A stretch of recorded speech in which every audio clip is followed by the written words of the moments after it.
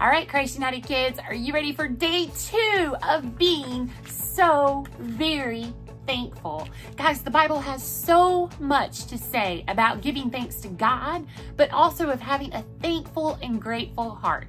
And so we are gonna spend the next 25 days learning about being thankful. If you've got your books, I want you to go ahead and turn to the very first page. We're gonna be on Tuesday. And as we're reading our Bible scripture, I want everybody to think of at least one good friend that they have. Think of a friend that you have and think of why you are so thankful for that friend. All right? Also, make sure you grab your Bibles because we're going to go into God's Word first and we're going to see what the Bible has to say about friendship. So I've got my Bible out. And remember, you might want to underline a verse or get a highlighter and highlight it this is a great verse for us to all remember and even write on our heart. Are you ready? It's Romans 12:10. It says, "Be devoted to one another in brotherly love. Honor one another above yourselves." Honor one another above yourselves. We spent a lot of time this summer talking about, or the past couple months, talking about the golden rule. We did a whole big house about it, and I'm pretty sure that we've had this verse before.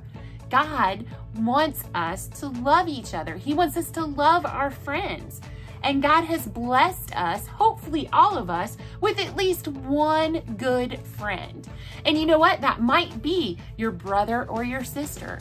Maybe you're super good friends with your sister. I am like best friends with my sister. My sister Rachel is one of my favorite people in the entire world. And so today, where it says, I am thankful for my friend, and then there's a blank. I want you to write your friend's name in there. It might be somebody from school or somebody from church. It might be a neighbor. I want you to write their name down right now. And then it says, I am thankful for my friend. And I wrote my friend Rachel because. Now, think of why you're thankful for that person. And I am just gonna say because she is always there to listen and love me. All right? You can write whatever it is. Maybe you're thankful because that person plays with you. She's nice. He's nice He's a good friend. Um, what is the reason that you are thankful for your friend? All right? And we are going to pray and thank God for our friends. So I'm going to pray and thank God for my friend Rachel and my other friends that I might not have listed. You can pray for your friends. All right, so let's do it right now. Dear Jesus, thank you so much. God, thank you for all of the friends that you bless me with.